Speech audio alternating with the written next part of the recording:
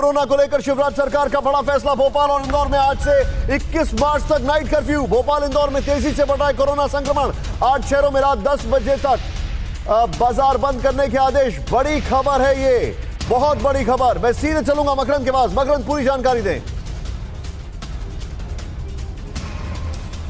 देखिए निशांत, दो शहरों में, यानी कि इंदौर और भोपाल में यहाँ पर नाइट कर्फ्यू लगेगा आज रात से और 10 बजे से 6 बजे तक सारे प्रतिष्ठान सब कुछ बंद रहेगा, आवाजाही भी पूरी तरह से प्रतिबंधित रहेगी, कर्फ्यू रहेगा।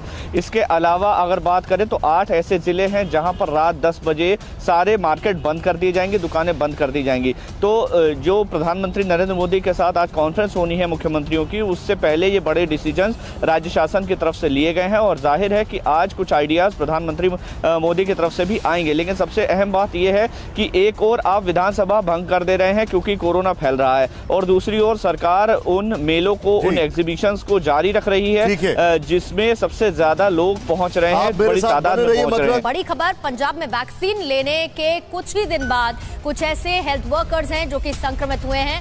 जबलपुर के कलेक्टर भी टीका लेने के बाद संक्रमित हुए। पंजाब में कोरोना से फिर हालात बिगड़ रहे हैं। पंजाब सरकार ने स्कूलों को बंद कर दिया है। पंजाब में कोरोना के खौफ में बोर्ड परीक्षाएँ भी टाल दी गई हैं। ये पंजाब का हाल है, लेकिन वैक्सीन लेने के बाद भी कुछ हेल्थ वर्कर्स के संक्रमित होने की खबर मिल रही है।